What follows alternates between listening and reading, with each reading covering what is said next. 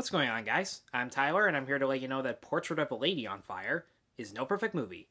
And it takes place in 18th century France where a woman named Marianne is hired to secretly befriend and paint a portrait of Eloise, a young aristocrat who refuses to marry any man and therefore won't pose for any artist. And the two of them grow close to each other as time goes by. Based on how much praise this movie was getting, I was super anticipating this movie, but also cautiously making sure that the hype didn't get to my head. But thankfully, this is just as good as everybody's been saying. This is a beautifully filmed, well acted romance story. And that says a lot from me because romance movies are my least favorite genre ever. I find them incredibly cliched and forced and really convenient when it came to problems in a relationship and how they overcame obstacles. But what's great about this movie is that it takes a long time to build up the two of them as individuals before building up them as a couple.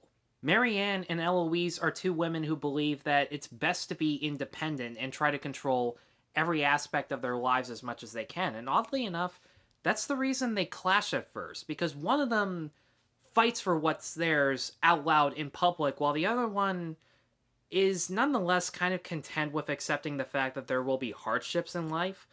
But after, not only do they spend more time with each other, but with this live-in maid named Sophie, the two of them bond slowly over time and realize that you do kind of have to accept the fact that people are not always going to give you what they want, especially in the time period that they're in where there are just some things that they should have control over, but no one will let them have it.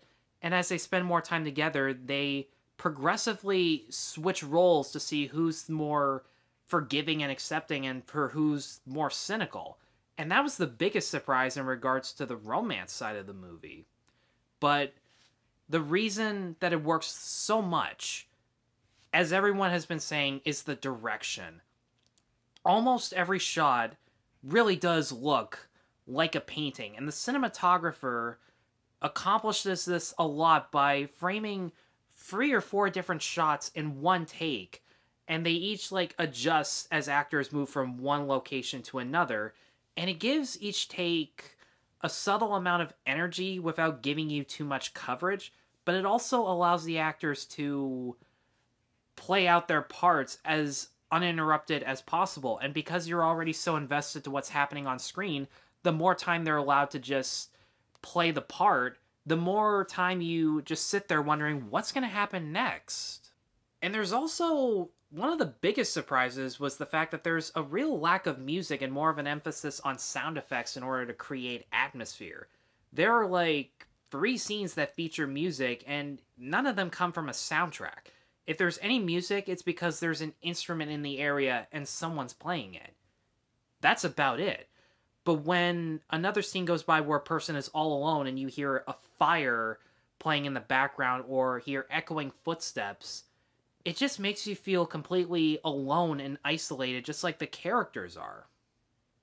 As much as the two women switching from who's the more forgiving and who's the more cynical, there is one argument that did kind of feel a little out of left field, mostly because that character had never really lashed out at anyone before and the other one had, so that was really the only confusing aspect, and they don't really. Out of all the scenes that do take time, that was the one that felt maybe the most rushed, but it's literally only one scene. It lasts a couple minutes flat. And other than that, I really don't have a problem with this movie.